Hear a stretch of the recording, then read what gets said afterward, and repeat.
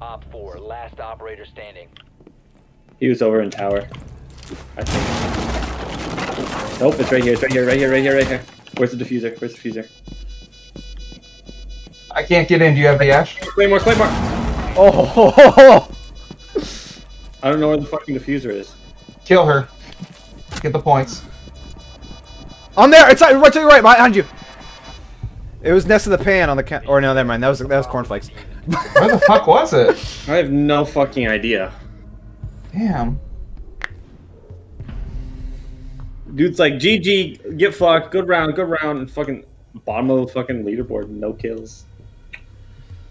Disappointing.